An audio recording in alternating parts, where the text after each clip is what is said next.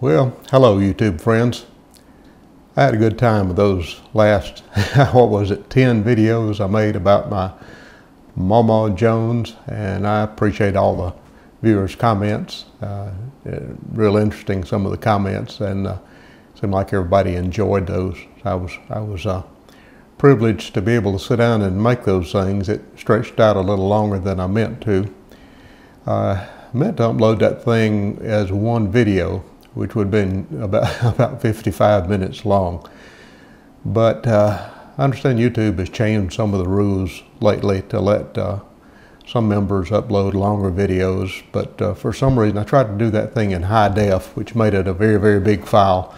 And I tried for hours to get that thing to load as, as one video and just never could work it out.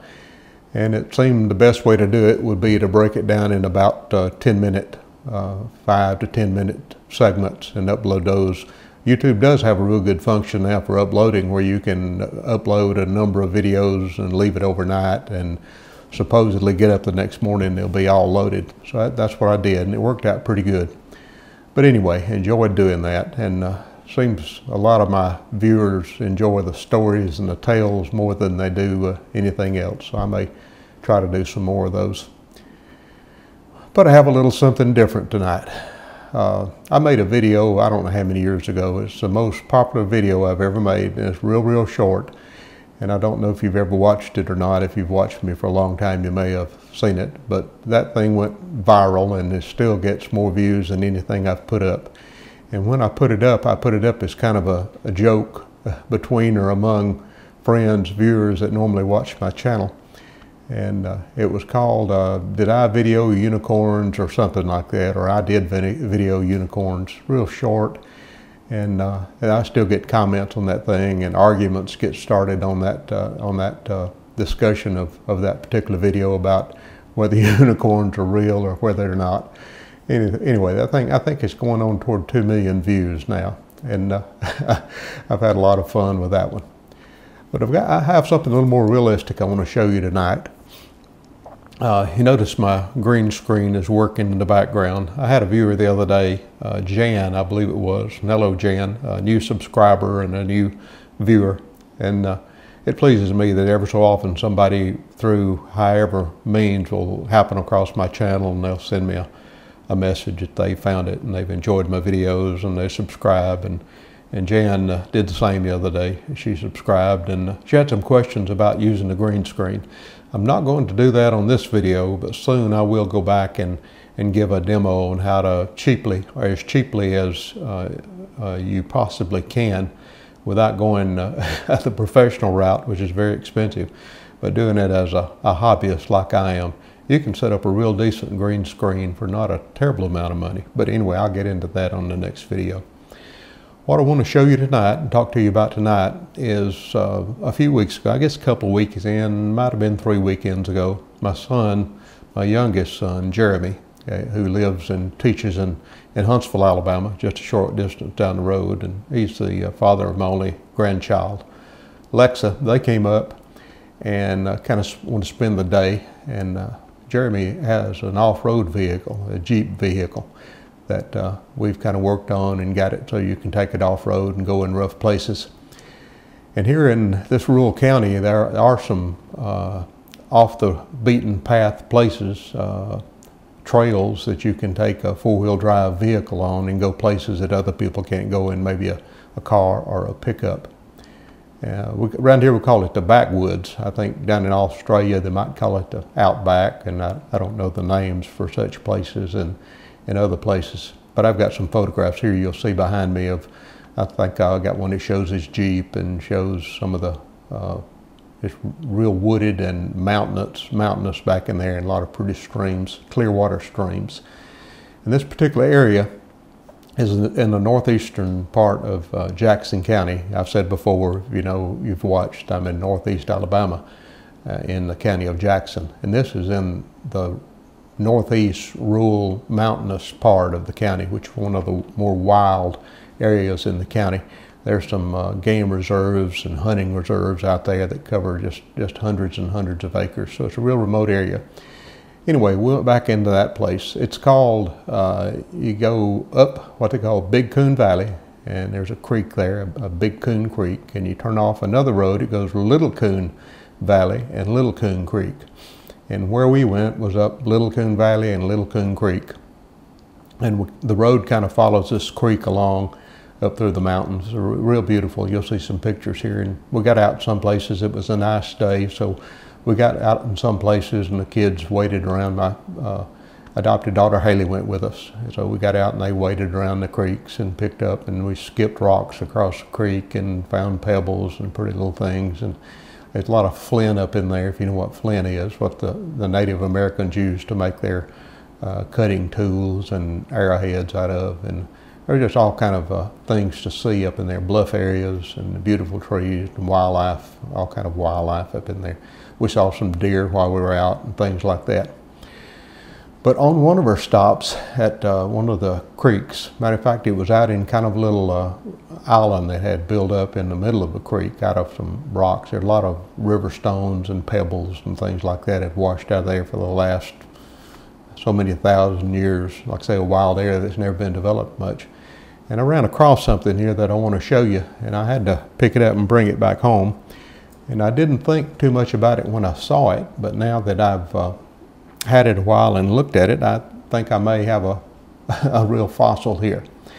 I tell you what I think I have, and I want some of you uh, to prove me wrong or maybe tell, if you know a little bit about uh, archaeology or whatever, tell me what it is instead of what I'm thinking it might be. But I'm going to entitle this video like I did the one on the unicorn, and I'm going to say, have I found a fossilized dinosaur egg? Is what I'm going to title it. And that's what I think this thing is. I'm, I'm not an archaeologist or anything, and that's just a good guess. But I want to show it to you, and uh, I guess I'll have to move the camera around. I can kind of hold. It's on a, a, piece of rock here that's about a foot wide, about eight inches across, and about four inches thick, and it's pretty heavy. But I'm going to hold it up and let you see. Maybe you can see good enough right there if I can balance this thing without dropping it if you'll see right here, there's uh, half of a shell here and a half of a shell there. And you see by my, my hands what size that is. It's about, I guess, three, three and a half inches across. And this is half of it, and this is half of it, half of it, and it's hollow inside. Now there's some other pieces in there too. There's one piece over here on this end that runs all the way through the fossil comes out on the back side. And then if you look right here on the back, there's another half shell looking uh, piece that's also hollow inside. And I've looked up and from the size I've seen uh, in some of the photographs of things that have been uh, analyzed to be dinosaur eggs, this is close to the size and shape and things like that. But I'd like for you, if I can hold it a little closer, I'd like for maybe some of you people that know more about fossils than I do to tell me, look at that and maybe tell me, did I really find a fossilized dinosaur egg?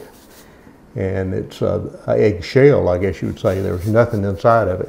Maybe if it was a dinosaur egg, the little critter got out and, and walked away and left the shell and it buried down in this sediment and over the eons, I guess you could say, it has turned into a fossil. Well, that's what I want to show you tonight. One interesting thing to watch is to see what happens to these videos after they've been on for a while, a few years. Some of them start off slow and, and gain in popularity, and some of them are very pop, uh, popular when they first start off, and they'll level off, and some kind of go up and down. So that's part of the fun is to put these things up, especially something that has a, a, little bit unusual like this, and then see how it spreads and see comments. I, I, get worldwide comments on the one on the unicorn. That's a lot of fun to me to sit and, and, and read those things. I mean, every day I'll get, I guess, 15 or 20 almost every day. Uh, people comment on it, and, and, the, and the viewers still keep going up and up and up. Uh, one more thing. On my last video, and I'm still learning, and I, I still have a, a very uh, amateurish setup here. I, I, you know, I play with it and try to make it better, and I like to work on my video quality. I like to work on my audio quality. My last audio had some problems, and I think I found that problem. I use a little uh, lapel microphone, kind of a little uh, hang over your ear and be close to your mouth microphone, or you can use it as a lapel microphone, either one. And I usually use my camera in uh, what's called easy mode. And that it kind of automates everything. It uh, adjusts all your settings and things like that. But I found a place to go in and set where my volume from the, I plug this into the, uh, from the camera and run a cord over to where I am because I'm about four or five feet away from the camera. So in this room here with no draperies, no rugs, it'd be a lot of echo. So getting it close to the mouth helps that. But anyway, I found a place in the camera settings where you can manually control uh, the audio. And I think before what I had was I had uh, I had I was letting it do auto control, and it was just going way too high, and it was distorting. And I know some people had trouble hearing that. And another thing I didn't do, and that was my fault too. I take my, my videos and put them into what is called Sony Vegas. You may have heard about that, or you can find some things online about it. It's real good, real good uh, video editing, audio editing software. But this microphone, the, the camera is a, a stereo, uh, st uh, records in stereo, but when I plug in this little auxiliary microphone, it puts this only in the left channel. So if I go back when I uh, render this, put it into the, the editing software, and tell it to take that left channel and put it both in right and left channel, then when you listen, you'll hear it coming out of right and left speakers. If you have on a headset, it, you'll hear it on right and left ear. So maybe maybe that uh, will will cure that on on this video. Hope so. So I'll cut this one off. I've gone on still a whole lot of minutes here, and that's not unusual for me, is it? And I'll uh, come back in a a, a, few days and we'll make that one on the green screen for Jan there and go on from there. And once again, I thank every one of you for your viewing, for your comments, and uh, consider everybody that, that kind of stays in touch to be uh, YouTube friends. I, appreciate that too. Have a good evening. I didn't say it, but today is Friday, April, I'm going to guess because I haven't looked at the calendar today. I think it's April 8th. That's just a guess. I may be off a day or two there. So, good night. Have a good evening.